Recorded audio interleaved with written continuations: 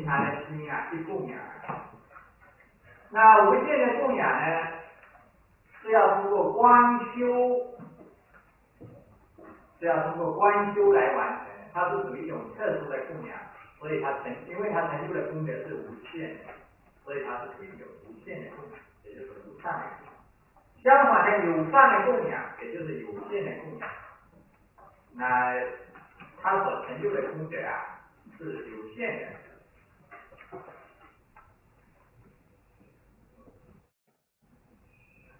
那我们看论文，有善不养者，以诸最胜等二众事。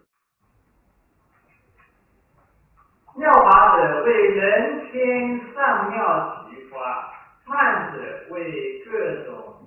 散发配合连缀而成，二者或系实发，或系缓照。聚热者有玄气等之因也，涂香者为妙香弥持。那么这里下来还有一些内容哈，我们就先念，先念下去。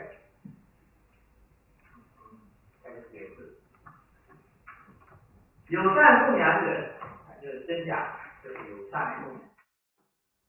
以诸最胜等二众事，以诸最胜就是以诸最胜妙华曼，地月涂将以伞盖，如是最胜端严具，我以供养诸如来。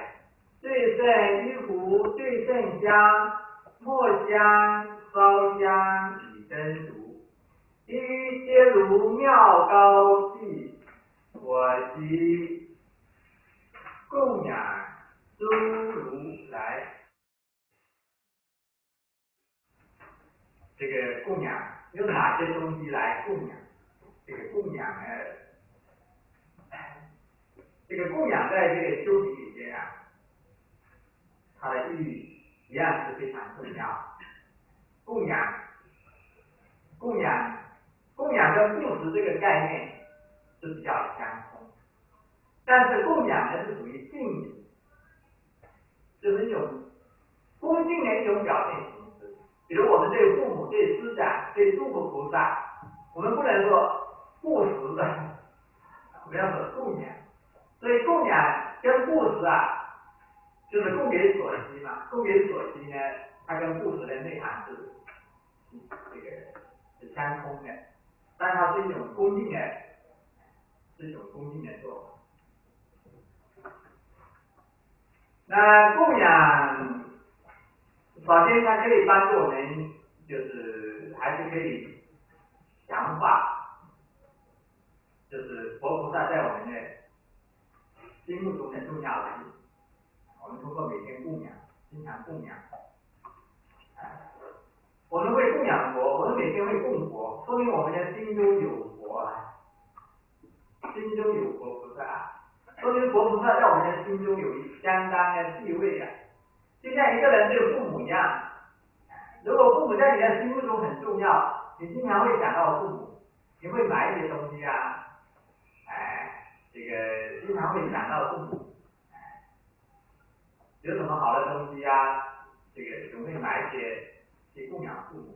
如果你的心目中没有父母的话，你就不会想到。所以任何一种行为呀，行为是从哪里来的？任何一种行为啊，都是体现了我们的心情。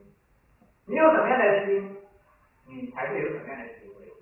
那么反过来说呢，每一种行为，每一种行为啊，它本身都在强化我们的心情。每一种行为呀，我们每做一件事，哎，或者我们每想一件事，在这个想的过程啊，就是在强化我们的心情的过程，就在强化我们心情的过程。所以，我们礼敬诸佛啊，供养如来呀，供养如来的过程啊，它就是在强化这个佛菩萨在我们心目中的这种崇高的地位的这个过程。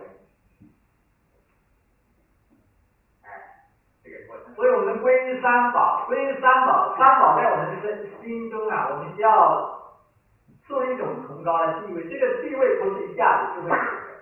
它需要通过不断的强化，不断的关修。那么供养呢，就是帮助我们达到强化和关修的效果。这个是第一点。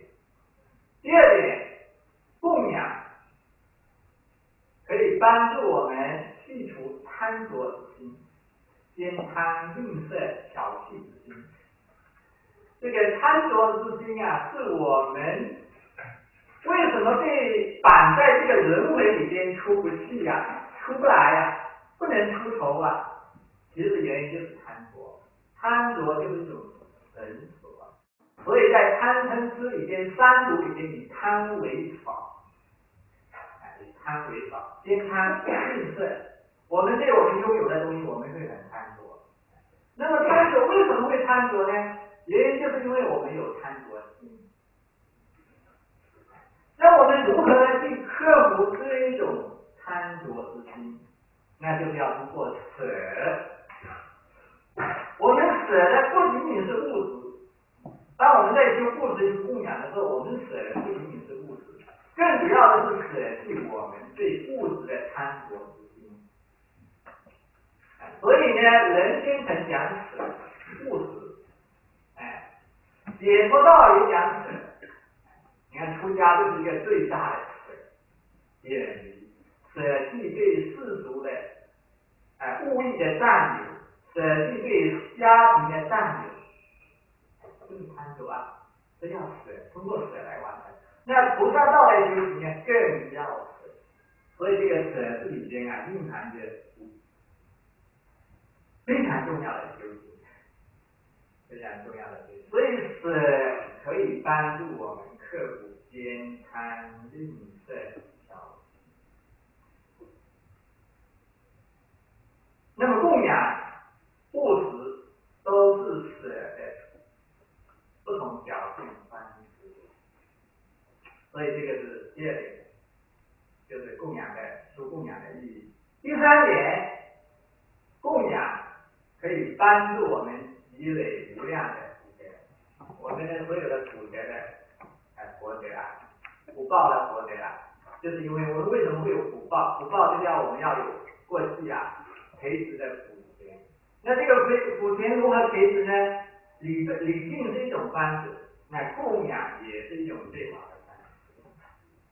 我们说这个礼敬，哎，这个杯田啊、敬田啊、灯田啊，这种这种福田的哎，这种资粮的活者啊，我们叫要护持，要供养，要供养。所以供养哎，供养之类修行啊，它的福报非常大。那么我们通常这个供养能够得到什么样的福报啊？它通常呢，这个福报有来源于几个方面。一个就是我们所供养的对象，他的这个修行，这个人道德的高低呀，就是这是一个田，对方是一个田啊。那这个田呢，这个田有的田啊是非常的土地非常的肥沃，肥沃，那是不肥沃吧？那有的田呢，它会很贫瘠。那你这个供养的钱啊，那你供养不同的钱啊，它的福报就不一样啊。同样是田地啊，如果是肥沃的土地呀，那它就能够生长很多东西。那如果是贫瘠的土地呢，你播了种下去啊，可能这个烧火就是很有限的，烧火是有限有限，所以你供养的佛德的这个福德的大小啊，跟这个供养的对象是有关系，这个是一个方面，当然不是绝对哦。那还有一个方面呢，主要是取决你的心，这个是最重要的一个方面。你在供养的时候，你用什么样的心来供养？你用什么样的心来供养？你的心有多大，你所能够获得的福德啊就有多大。那这个供养的这种，就是我们能供养的这个心的钱啊，它都是比所供养的那个福德的钱啊还要重要。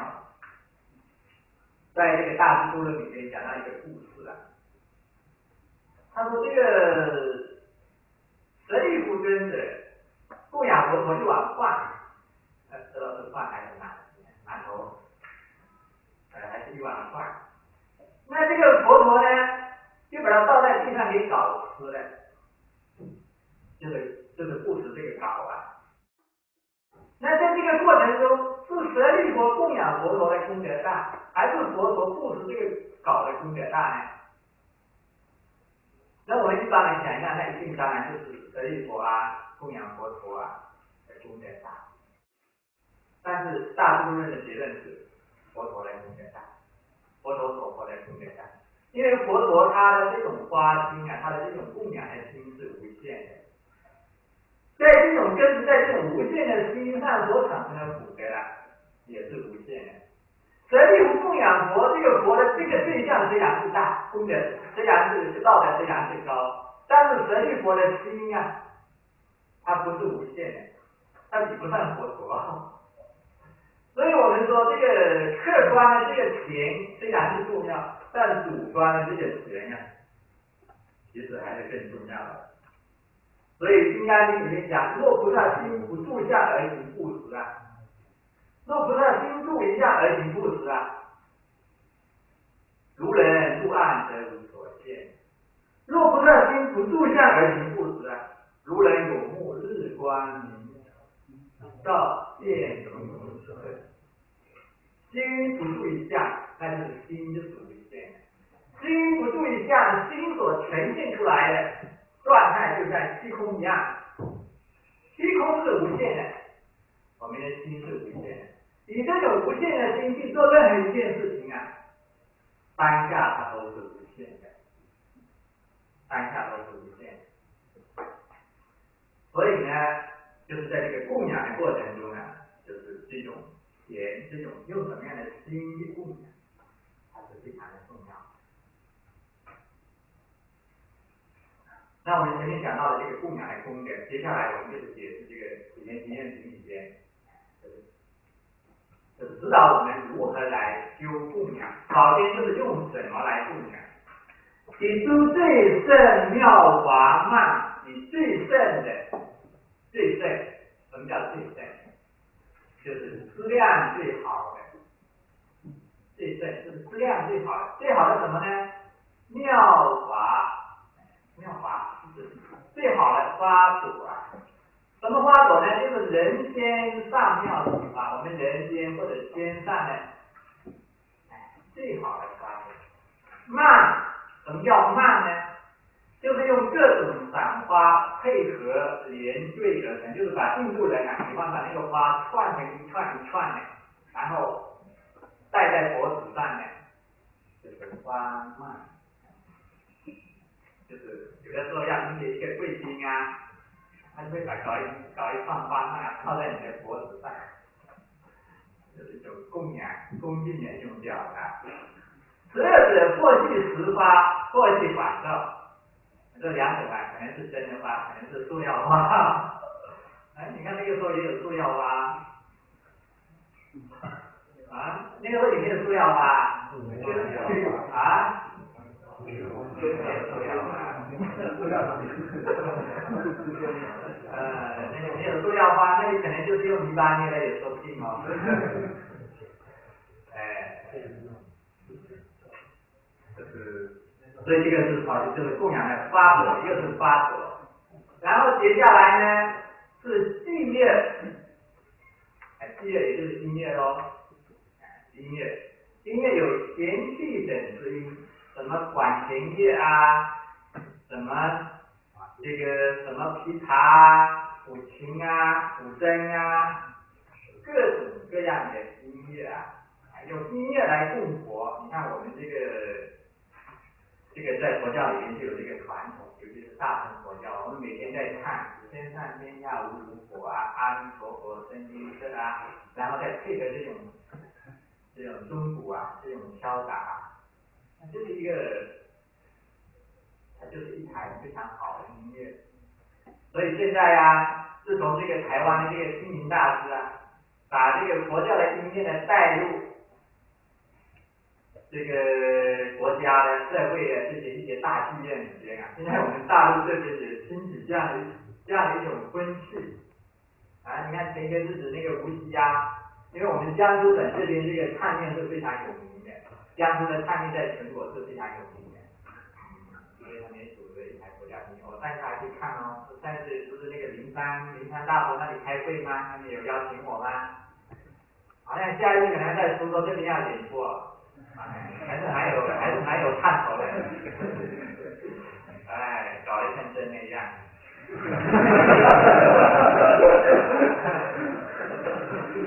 这个就是就是感觉像在表演一样，蛮有意思的，就是用音乐来供佛，哎，用音乐来供佛。那这个是音乐，接下来呢？就是涂香，涂香就是这个把这个香啊涂在身上啊。你看现在什么霜啊，什么膏啊，啊，还有什么这个涂在身上，哎，涂香，涂香。看来这个涂香啊，是不是现在有的？你看现在的那些女士们啊，小姐们啊。今天晚上一会儿刷一点这个东西，一会儿那个这个因为古代也有，所以这个涂香啊也是一种供养，所以叫妙香泥，你看涂一点什么檀檀油、檀叫什么檀香油啊，还是什么沉香油啊，古代的那些木头啊，就是就是这些这些这些香油啊。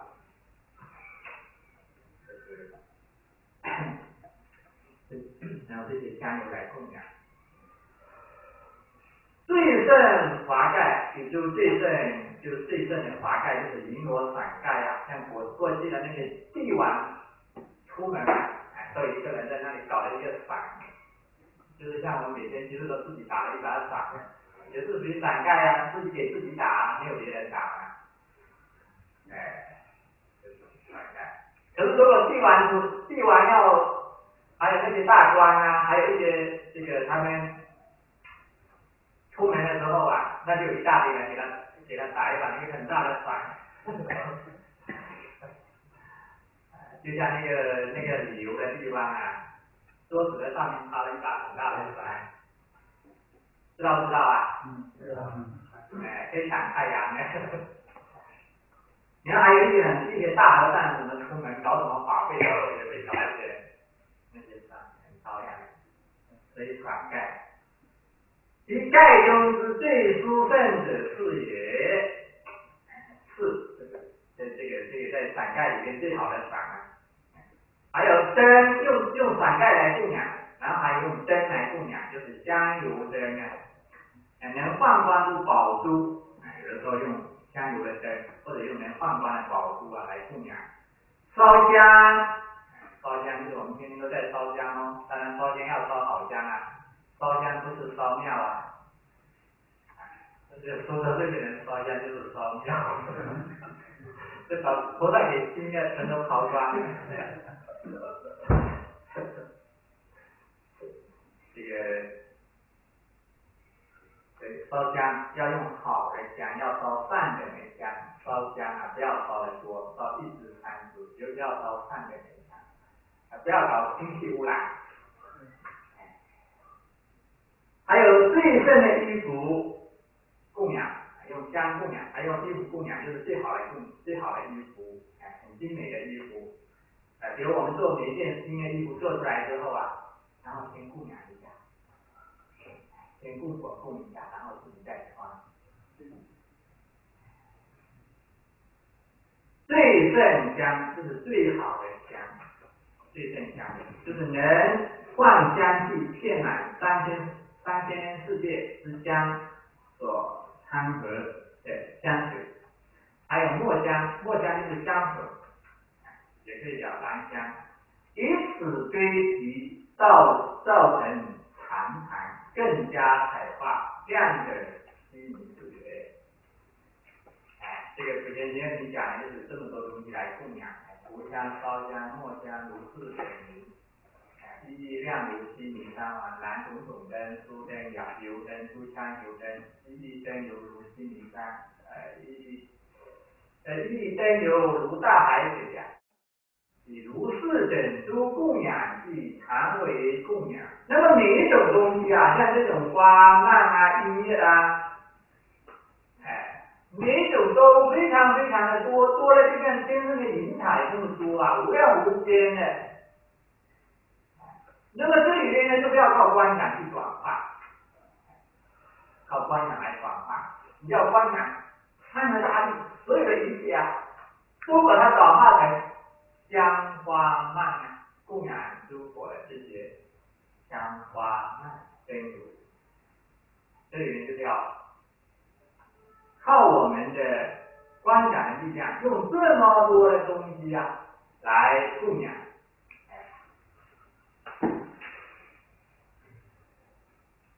那当我们如果修这样的供养的时候啊，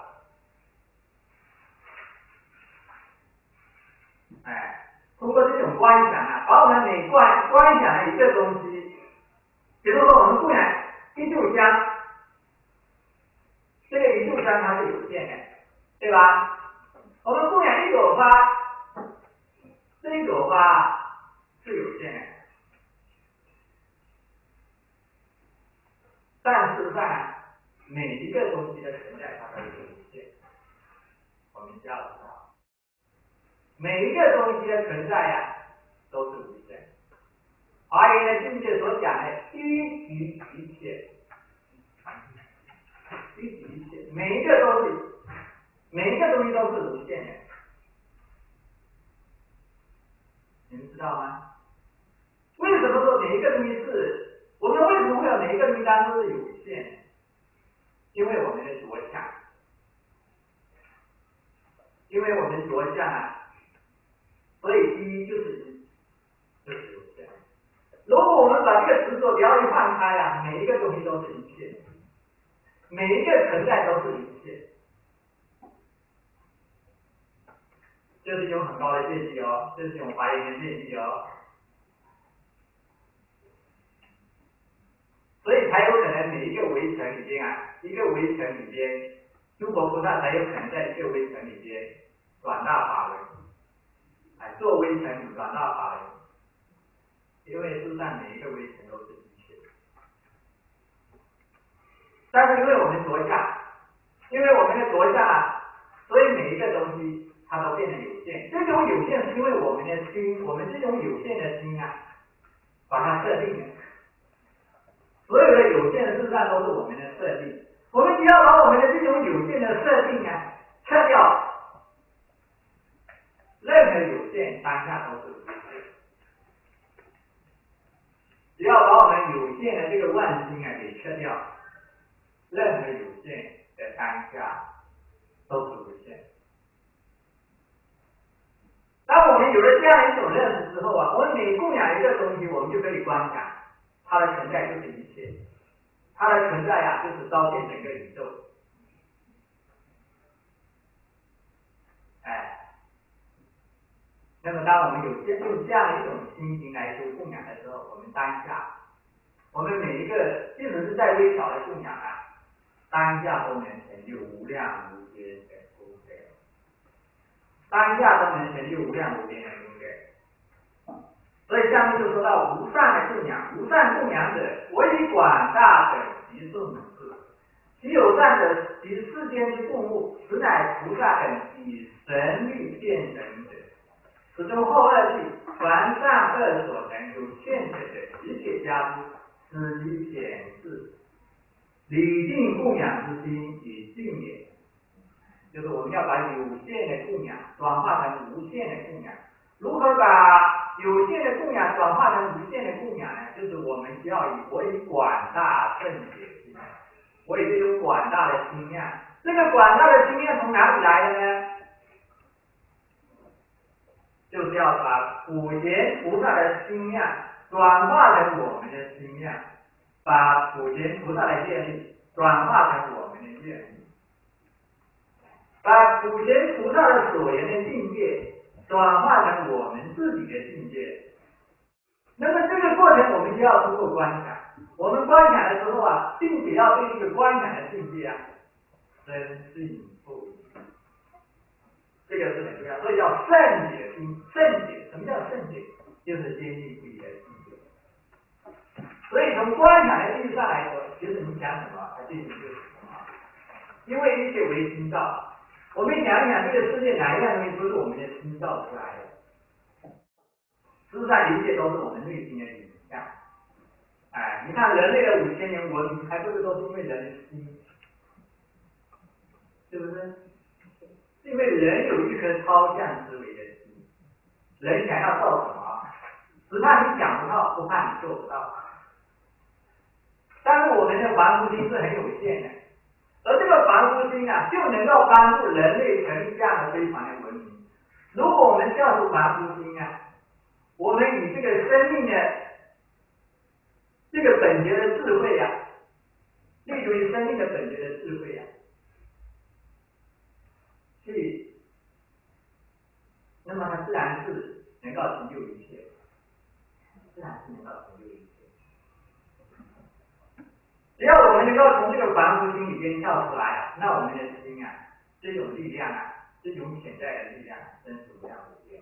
我们现在的心之所以是有限的，就是因为被这种凡夫心啊给束缚住了，给束缚住。就像一个人，你的价值的水平再高，你会开飞机，哎，你会开航空母舰，你会开这个这个什么越野汽车，哎，还是会开坦克。可是我现在给你下扫扫不出来，啊？那你再大的本事有没有有没有用啊？啊，你没不你不可能把扫不出来给飞起来，是不是？你不可能把扫不出来开到海里面，其他的还是再大的本事也没有用。那么这个道理就像什么道理呢？我们的心啊，尽管是具备有像佛菩萨一样那样的功用。可是，当他表现作用的时候，是透过凡夫心表现出来的。被凡凡夫心被我法二字给禁锢住了。如果我们现在能够从我法二字里面跳出来啊，那我们的当下就是无限，那我们的作用就是无限。这个我们是需要知道的，这个我们需要知道。所以呢，我们要以性解，我们现在是要专用。要以这个学习这个普贤的形象，是要以普贤的形象来打开我们的凡夫心，来调整我们的凡夫心，要调整我们的凡夫心。我们要深对我们的心啊，具有这样一种巨大的功能啊，我们要深信。哎，所以这个密宗里面讲，为什么要对上师的这种信？因为你只有深信这个上师法师。跟你所，他是不会骗你的。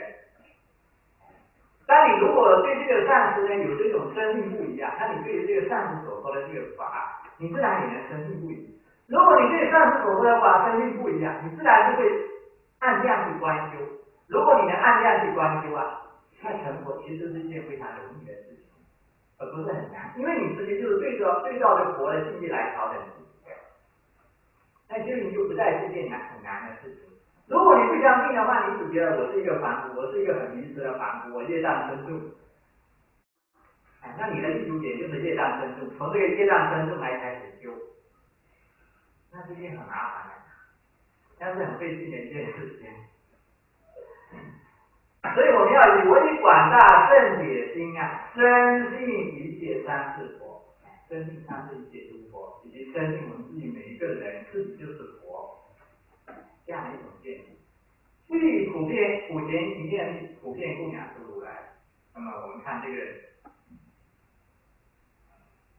这个论点怎么解释？只有善者，以世间之供就是我们在供供佛的时候，我们首先就是以世间上来供供养啊。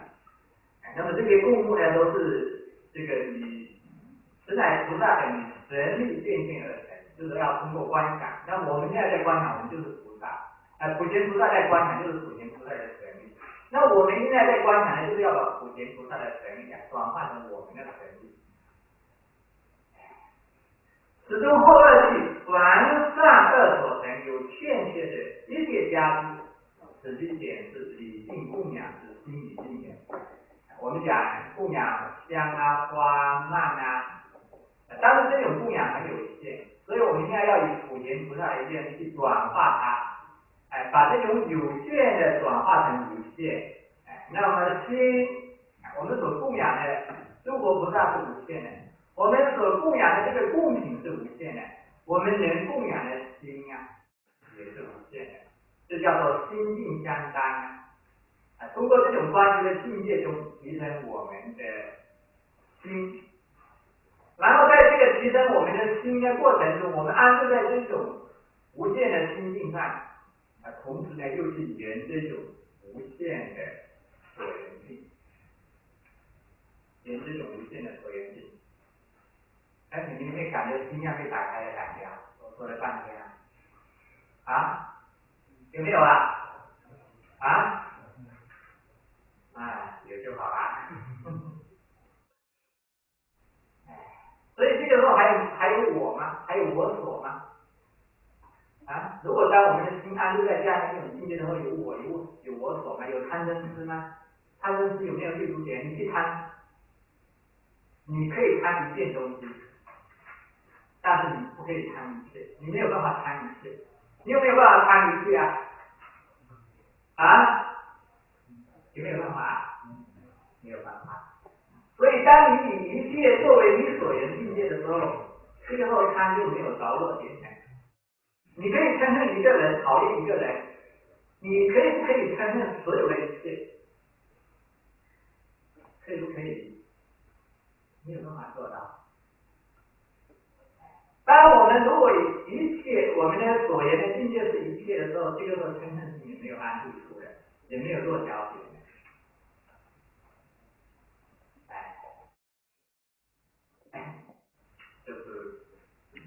所以在这个关系中啊，就完成了我们的修行，就完成我们的修行。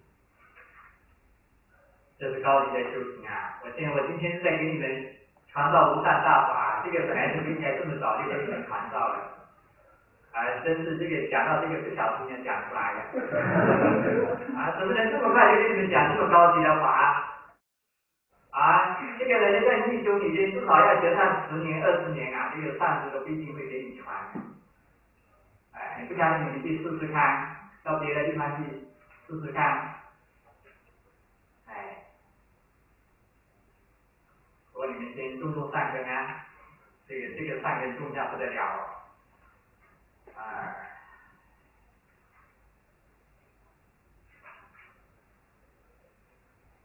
接下来呢是讲忏悔之，第三支。我其所造诸恶业，等一诵，是以三毒为因，以生等三为根次。其罪性者，未有我造，此中无分心生正所造作，或教他做，或随与他做。如是一切，尽其所有，总及忏悔，虽念过之，三愧悔心，断绝后流，心情还故，自当念。接下来讲的是第三支，就是忏悔之。忏悔诗的内容就是我们经常念的最熟悉的一个句数：我昔所造诸恶业，有的人念往昔所造诸恶业啊，皆有无始贪嗔痴，从生以之所生，一切我今。这个忏悔，这个忏悔呢，在学佛修行中啊，是非常的重要的。忏悔，就是就是在和这个这个佛法的修行啊，修行就是分这个前行、前行、哎正行、哎邪行。那么在正行之之前啊，就是要前行。那前行的内容呢，主要是就是积累资粮、忏悔业障。我们刚才前面讲呢，礼敬啊、供养啊，主要都是在积累资粮，积累资粮。那现在讲忏悔师啊，就是忏除业障。那么积累资粮呢，就是在培养我们的修道的顺缘。积累资粮啊，是在培养我们、成就我们修道的顺缘；忏悔业业障啊，是在扫清我们修行过程中的障碍，也就是在消灭我们在修行中的什么缘啊？逆缘为缘。所以这个两派很重要哦，哎，你要是没有顺缘。我们现在修行之所以修不起来，没有时间或者没有功夫啊，没有条件啊，或者身体不好啊，或者没有善知识指导啊，为什么？为什么？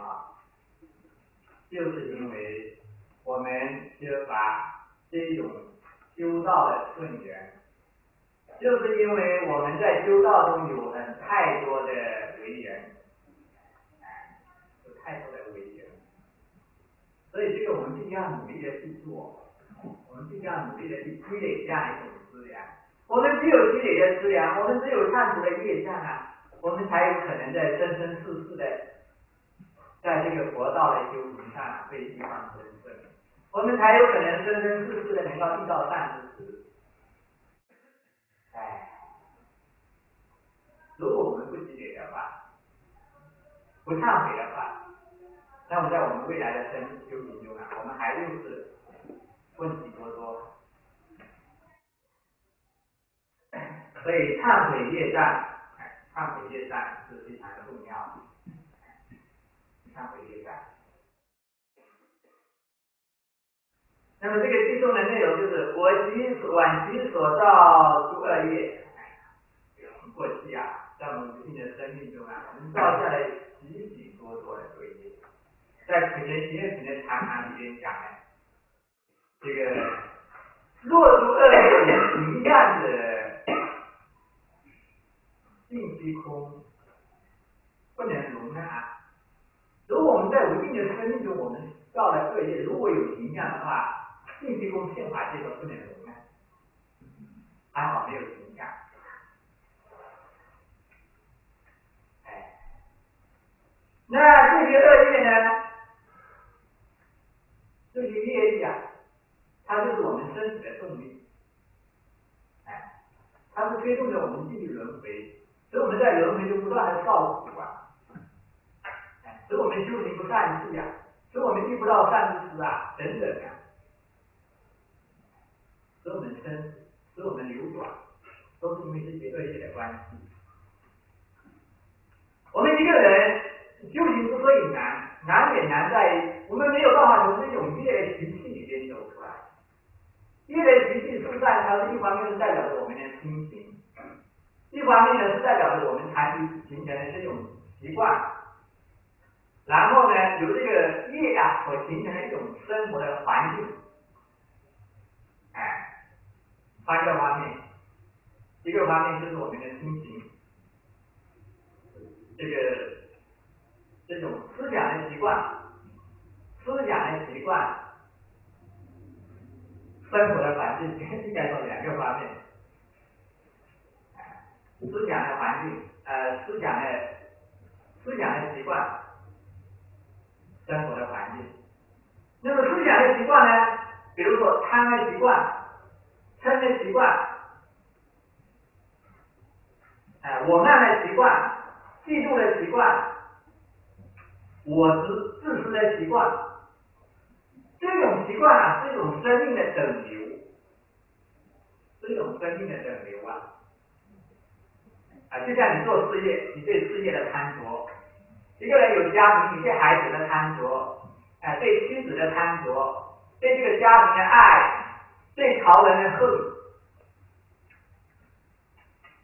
一个人在这个世界上有很多情节，哎思想情节，这种情节不只是我们从这一生开始的，是我们过去无尽生命的一种积累。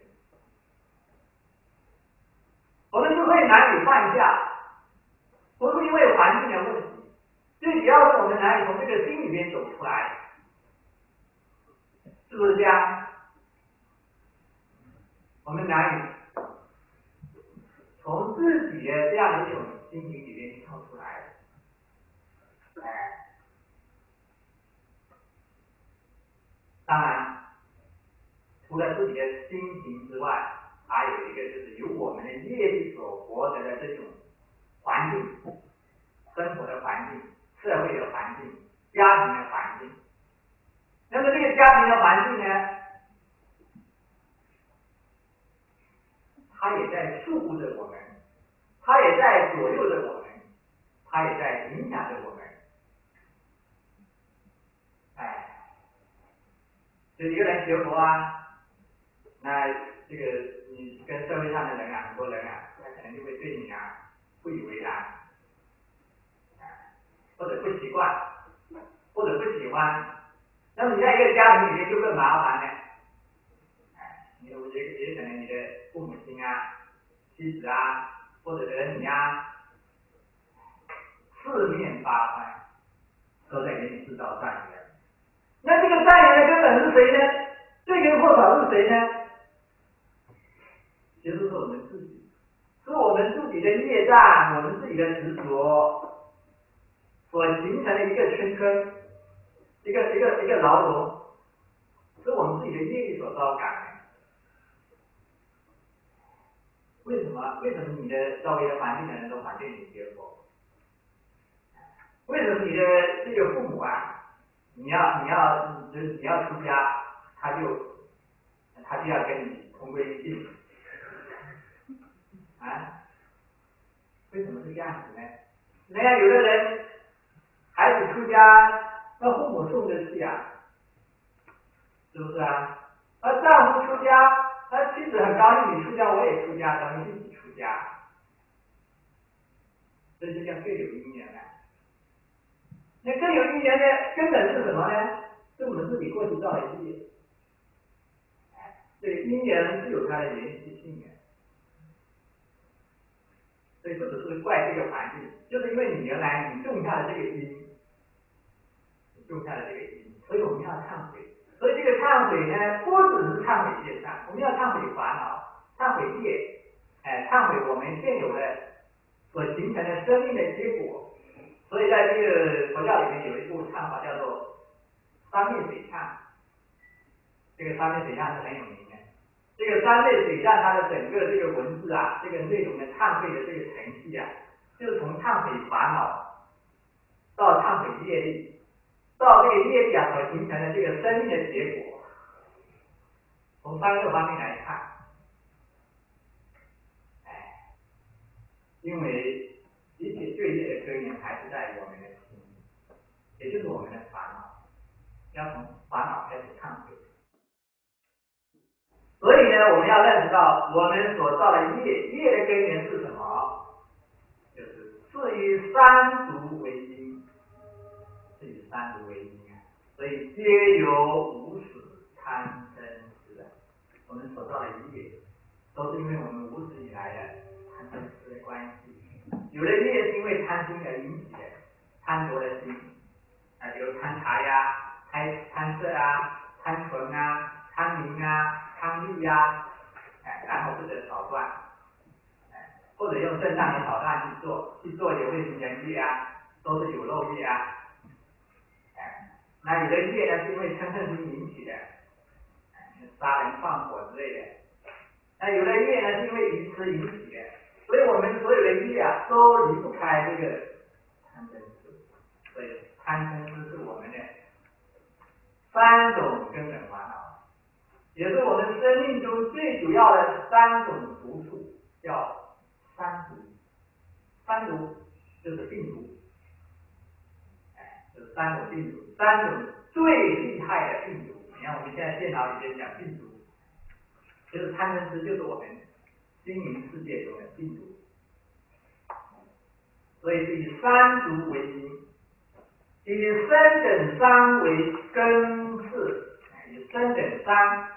为根和事，根就是表现的渠道，贪嗔是通过什么地方表现出来的？有三个表现渠道，这个三个表现渠道呢，就是生考第三业。所以呢，从生以意之所生啊，贪嗔是怎么表现出来？就是从身体表现出来，从语言表现出来，从思想上表现出来。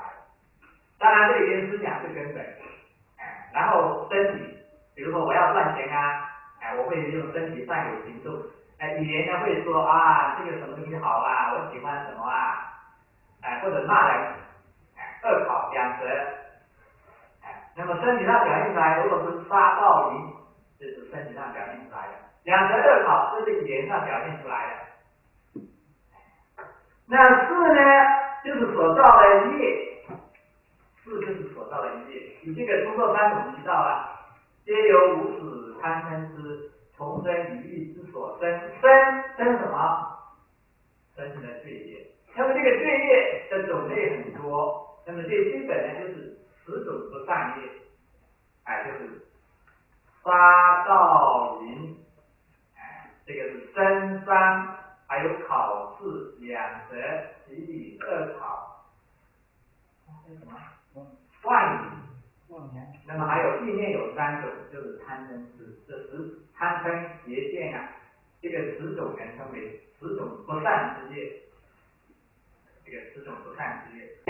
那么由我们这个贪嗔痴通过生考力的三业啊，造了十种不善业。那么这个十种不善业啊，都是属于三恶道之一，这些业啊，将会带着我们，会推动着我们啊。堕落到三个道里边去，其实罪性者未有我造，那么这个罪的体性啊，都是我的心啊，每一种啊，都是通过我的心啊造出来的，哎不是别人的心。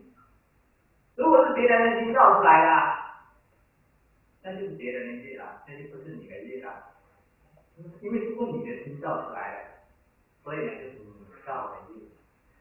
此中不分为心生正所造作，或教他做，或随己做，如是一切，尽其所有，总集忏。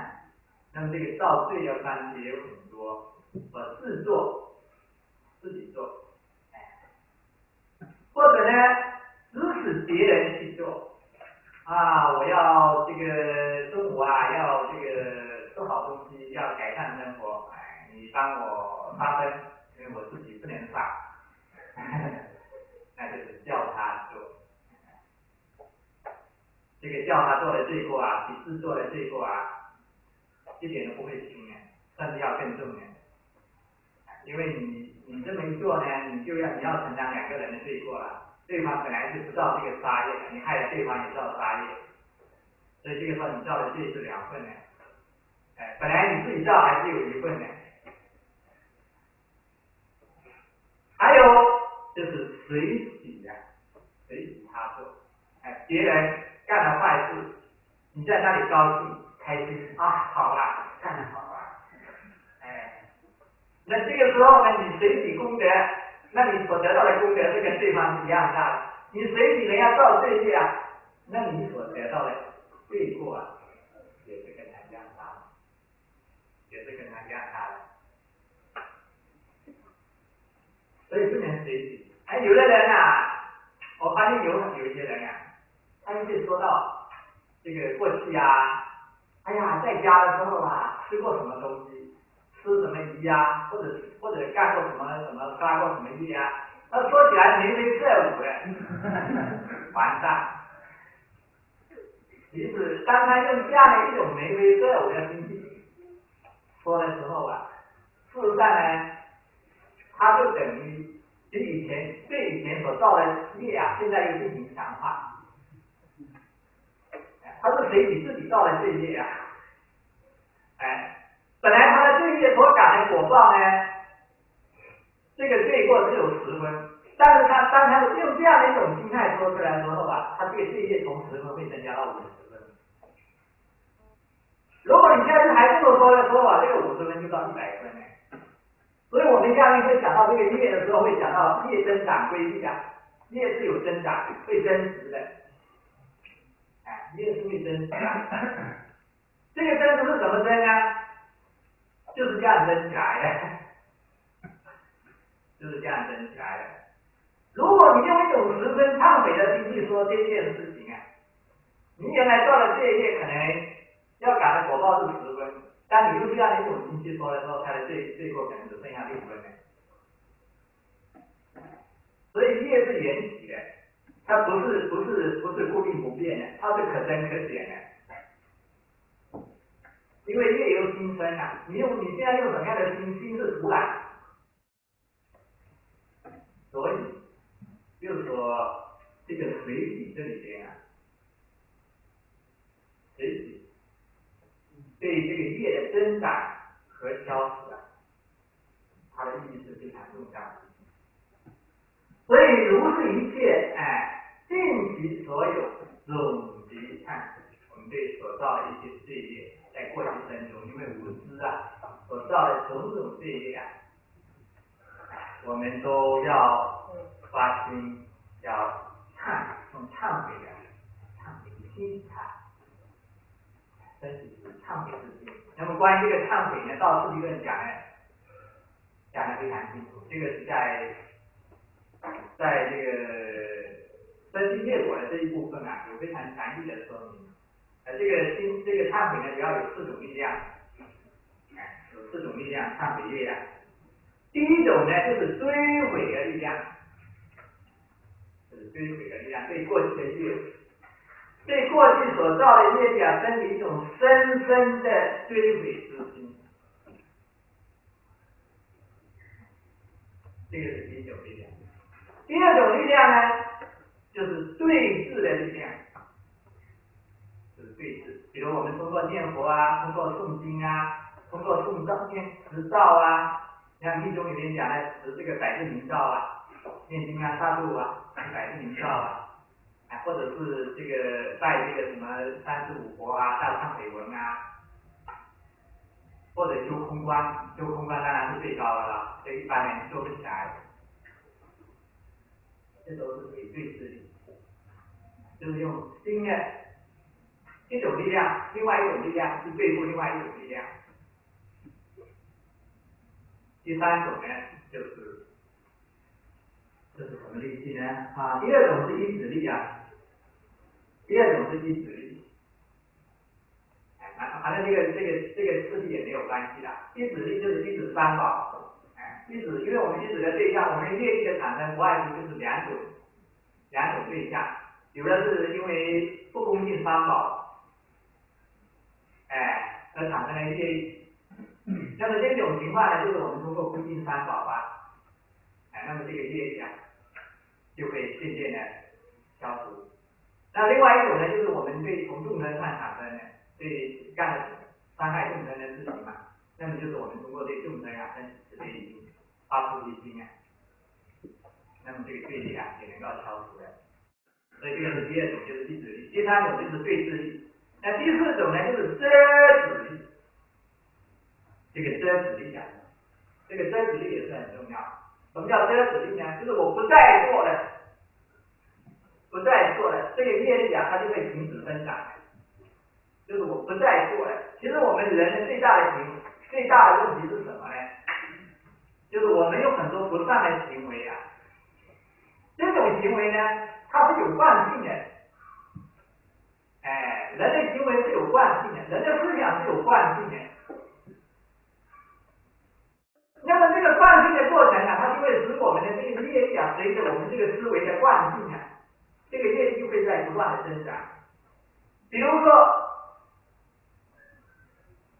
我干过一次对不起你的，我看看你不顺眼，这个是一个，这是我的一种代表我的一种习惯，这啊我的一种一种心态。现在只能说现在是我的一种心态，我本来对你没什么印象的，自从你干了一件对对不起我的事情啊。我看你不顺眼，这个是开始的。然后呢，我有我有这样一个看不看你不顺眼的眼光啊，那我每一次看到你啊，我就会生起一种不欢喜的心，然后我甚至会说些什么，我会做些什么，哎，那么你呢，可能也可能是无意的做了一件对不起我的事情，那么我现在说你一次，然后呢，你不舒服。然后我会在继不断的说你的坏话，继续的不断的跟你过意不去，然后结果呢，这个业力啊，这个烟草啊，就会越积累越大，越积累越大。本来是当初你无意的干了一些对不起我的事情，或者说我当初最初啊看你不顺眼啊，只是偶尔这么做一次啊，其实对方都双方都不会造成太大的心理疙瘩的。但是呢，这种力量呢，它会不断的增长。啊，我会不断的去去用不顺眼的眼光来看你，一次的行为来对待你，然后你呢就会不断的接受我这样的一种信息之后啊，对我产生不断的反感，哎，然后在这个过程中啊，就这个业啊就在增长，在不断的增长，不断的增长。那现在我们需要做的就是叫什么？就是这个什么力啊？遮止力。还是遮止力，就是不要再让它增长，不要让它增长。所以要忏悔，哎，忏悔可以通过这样的四个渠道，我们通过忏悔呢，就可以把我们的这个业啊，从大的化到小，从小的化成没有的，业是可以转化，是可以忏悔。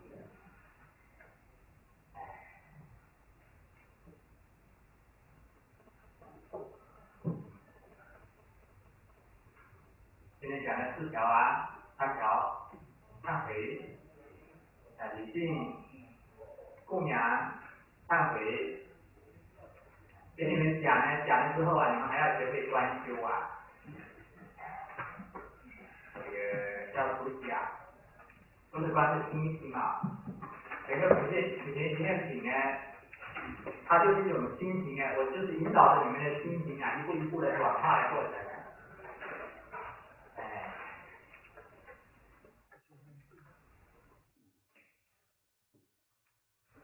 看看有没有什么问题吧。这个关修的情况，就是那个那个开始那个，是开始的关啊，他说所有十方世界中，他是一切人之子啊，所以清净生于一切变的敬畏。这个啊关的要容易一点，就是到下面那个立关的时候啊，哎，于尘中尘束缚啊，就好像非常麻烦，就是。就是想一想这个围城啊，它这个那么一点点，这个这个这个心里面观察这个佛陀的像又是那样的庄严，如何和这个这把这个如此庄严的这个佛像和这个围城结合起来，真的是非常麻烦的事。还有这个这个语言的这种观想啊，就是我们看那个看的那个。阿瓦朗去看不的那个解释啊，就是就是自己可以观想在每一尊佛前，这个尽情的去赞美他，去歌颂他。但是如果要观想到这个一个身有无数的头啊，每一个头有无数的齿啊，你就是就是很别扭的事。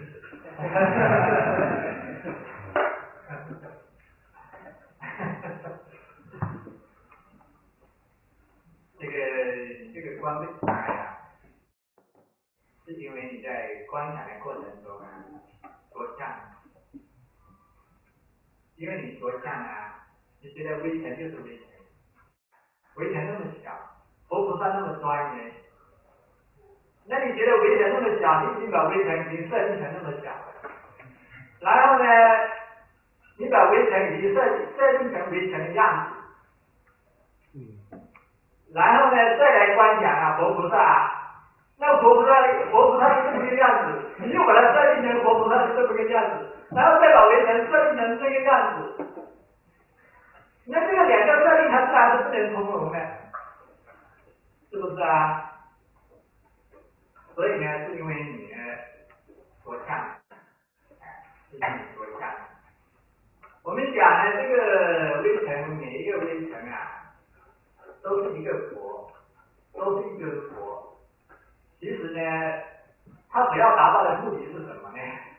你只要知道他要达到的目的是什么，要达到的目的啊，就是每一个微尘，就是佛的身、佛的德啊，它是无所不在的，一切都是佛的身、佛的德的显现，这才是，这才是在观观境上要需要落实到的心情。但是你这样子，你怎么样去理解？佛的身和佛的德是无所不在呢，一切都是佛身佛德的显现呢。那么这个有一个前提，就是你只要知道每一个微尘都是佛。既然每一个微尘都是佛啊，那么，那么宇宙中的山河大地啊，啊，青青翠竹啊，郁郁黄花啊，当然无非都是佛身佛德。那十方诸佛，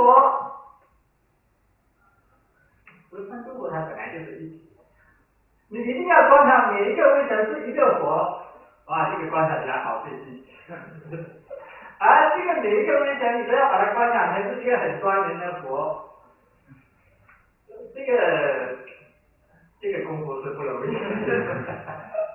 但是如果你观想，其实我们观想每一个相，为什么要在这个密宗里面，还要把很多这些相要观想的很细呢？其实它的目的是什么呢？它的目的是帮助把你的心给烧摄住。其实不是在观的这么细，不是目的，目的是摄心。但是这样对于一般的老太太呀，对于平常人来说啊，比如像对我这样的人来说。因为我对具体的东西就没有概念了，没有印象。你要叫我去观哦，这个孙大师在哪里呀？左边升官，这个升官啊，管行啊，历代祖师啊，上面是什么菩萨啊？前面是什么菩萨啊？后面是什么菩萨啊？然后下面有一个什么什么金刚座啊？然后这个什么一个大狮子座啊？狮子座下面又有八个人抬着啊？这个抬着下面又是什么东西啊？这这种东西啊？如果对我来说，我根本就不感兴趣，啊，我也不会去这样观想。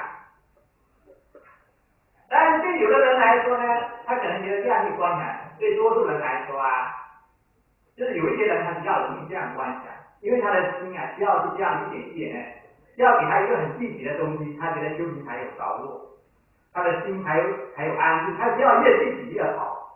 其实多数人是这样子的。但是所有的修行，这些所有的具础、具体的关修啊，最后都要把它放空掉的，都要把它打掉的。如果你不打掉的话，你的修行啊，你的心啊，根本就是难以从这种人所里边跳出来。你的心根本就没有办法进入空性，进入空性。所以这个是代表的一个层面的不同。哎，所以这种观想呢，当然，这个可以因人而异。哎，有的人他比较注意这种形象思维的人，那么你可以找一个关归进来，很具体的去做。那么有的人比较善于抽象思维，比较有这种宏观智慧的人，那你就可以观的笼统一点。像我那天昨天给你们提供的这样一个规定啊，其实对一般人可能观起来会更容易。你选一个，嗯，最容易观起来的佛菩萨或者上师。或或者法师，然后呢，把其他的十方三世一切诸佛历代祖师都把它装进去，呃，别不要去管它上面左边、下面右边，反正都钻进去嘛，管它是上面左边、下面右边，然后把这个上司给虚化了，把这种有限变成无限，然后再把自己给融进去。我觉得我这个想法是深的，这个藏传佛教的观修的这个，我觉得应该是比较比较符合他们的，在宏观上来说啊，当然从具体具体的来说，可能是跟他们的一般的一般人的观修不太一样的，但是从原理上来说，我想我跟他们的说法绝对是相符合的。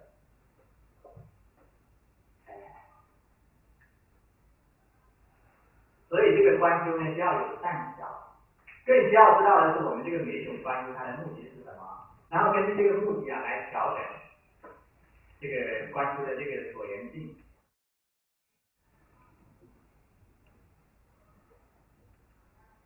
清楚了吧？